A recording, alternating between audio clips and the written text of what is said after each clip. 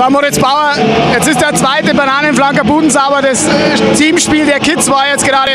Erzähl uns deine Eindrücke einfach.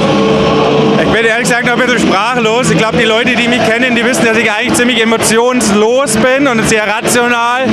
Und ich bin gerade da hinten auf der Seite ganz allein an der Bande gestanden und habe Tränen in die Augen gehabt. Ähm, ich muss ja gestehen, ich krieg, weiß vom Spiel gar nicht mehr ganz so viel, weil es einfach ein brutales Erlebnis war, wenn man sieht, ja, welche Plattform die Kids jetzt hier heute hatten und vor so vielen Leuten Fußball spielen. Das ist einfach phänomenal und äh, ja, ich glaube, eine Geschichte, die wir alle nicht vergessen werden. Ja. Du hast die Plattform angesprochen, die die Kids haben. Also das ganze Stadion ist gestanden. Erzähl uns mal aus der Sicht der Kids. Du betreust sie ja, ihr habt ständig Training. Wie fiebern die auf diesen Tag hin?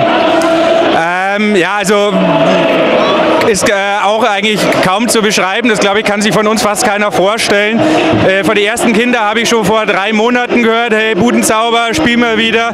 Ich habe äh, von Kindern gehört oder Profis gehört, die sind heute um sechs in der Früh aufgestanden, weil sie gewusst haben, hey Fußball ist.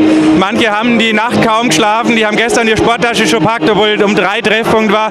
Also da merkt man, die sind wahnsinnig aufgeregt, die haben eine riesige Vorfreude, äh, hier ihr Können zu zeigen und ähm, ja, auch da wieder, das ist einfach, ich bin sprachlos, wirklich. Also man sieht ja jetzt hier auch im Stadion, äh, das Thema Fußball kennt keine Grenzen, das ihr euch gesetzt habt. Das ist definitiv angekommen und ich bin mir sicher, du wirst bald hören, wann ist der nächste Bananenflagge Budensauber Nummer 3. Gibt es da in diese Richtung schon Pläne? Es gibt selbstverständlich in die Richtung Pläne, wir haben da aber noch ein paar Sachen in petto, die wir jetzt noch nicht verraten können, deswegen darf ich nicht zu so viel dazu sagen. Aber es wird im Sommer auch wieder ein Legendenspiel geben, wo auch unsere Profis wieder mit am Start sind und ähm, ich glaube, es können sich alle auf nächstes Jahr schon freuen, wenn wir uns alle wiedersehen, hoffentlich. Du hast das Legendenspiel angesprochen. Was ist äh, beim Team Bananenflagge mit den Kids noch so geplant jetzt in nächster Zeit? Gibt es da auch, weil es gibt ja so viele neue Standorte, eine Weiterentwicklung, die wir, über die wir schon sprechen dürfen?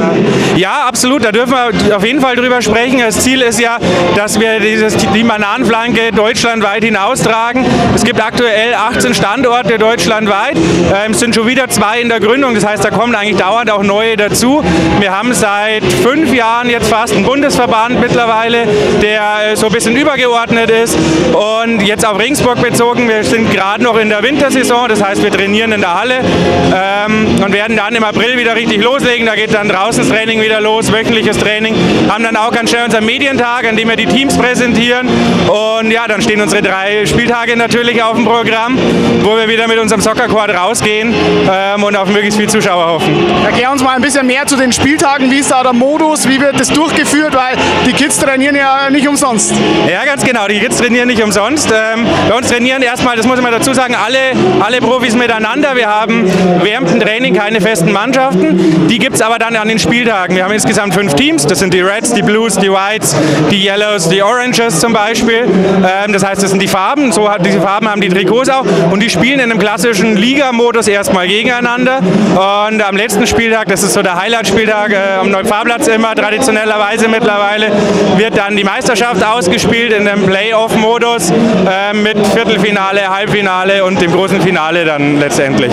Also ich bin mir sicher, dann können die Zuschauer heute und auch in der nächsten Zeit definitiv auf das Team Bananenflagge setzen und sich auf die nächsten Projekte freuen. Moritz Bauer, vielen Dank fürs Interview und noch.